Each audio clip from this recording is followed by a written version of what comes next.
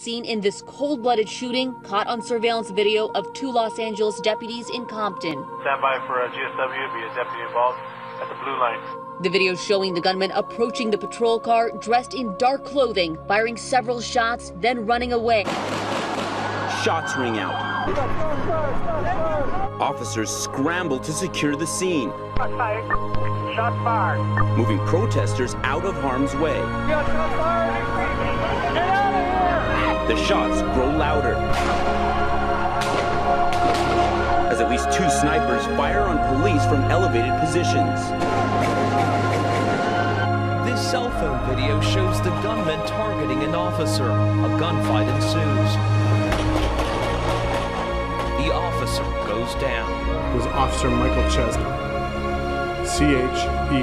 Chesna. Officer Chesna responded to Burton Terrace in Weymouth P. in Weymouth Police in, the, in his Weymouth Police cruiser. This is nearby, and he saw the suspect actively vandalizing a home. He exited his vehicle. He drew his firearm and commanded this man to stop. This suspect was eventually identified as Emanuel Lopes. Lopes then attacked Officer Chesna, it is believed, with a large stone, striking him in the head, and Officer Chesna fell to the ground. Lopes then retrieved Officer Chesna's firearm and discharged it several times in his head and chest. Michael C. Chesna was a police officer for the town of Weymouth. He's 42 years old. He's a family man. He leaves a wife, two young children, ages four and nine. Officer Chesna's been uh, an Army veteran. In fact, I was speaking with his mom this morning, and she told me that he joined the military to help uh, open the doors for him to get on this job. He was successful with that. I hired Mike Chesna uh, six years ago tomorrow. Tomorrow would be his anniversary date with the police department at six years. The streets of Midtown Manhattan came to a standstill today for the funeral of New York police detective Joseph Lemm. Lemm was on patrol with five other Americans in Afghanistan when they were attacked by a suicide bomber December 21st. It was Lemm's third deployment to Afghanistan with the Air National Guard. Yes, he was a cop and a reservist, for whom duty meant everything. Two years ago, local news cameras were there when he surprised his family at a restaurant, coming home early after his second long deployment. Lem was a big country kid from Nebraska who thrived as a cop in some of the roughest sections of the Bronx.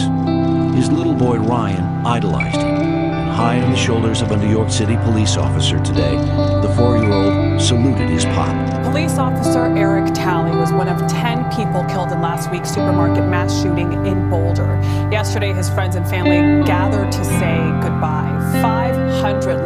500 enforcement vehicles from across the country participated in a procession escorting his hearse route. Look at that to the memorial service just outside of Boulder. Photos of the 51 year old husband and father of seven were shared as his life and heroism were honored. Your father was kind. Your father died a hero. There is no doubt, because of his bravery, dozens of innocent lives were saved. Talley was the first officer to arrive at the King Soopers store when a gunman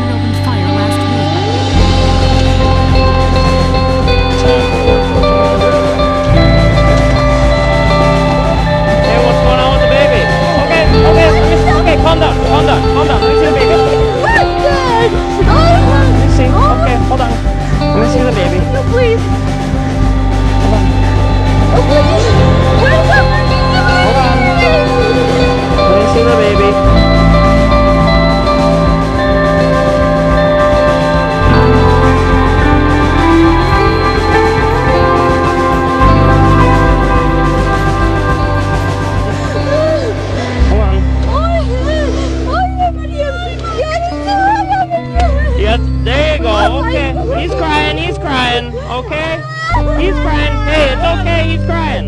He's crying. He's crying. He's okay, he's crying. David 10, baby's crying. Go on, go.